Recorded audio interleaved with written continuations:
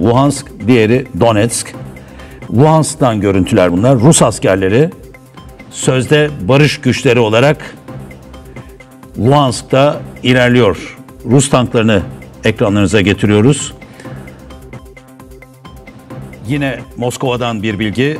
Beyaz Evin Ukrayna Devlet Başkanı Zelenski'yi tahliye etme olasılığı hakkında Ukrayna Devlet Başkanı Kiev'de açıklaması yapıldı ve ülkeyi yönetmeye devam ediyor denildi. Ukrayna tarafından yapılan bir açıklama bu.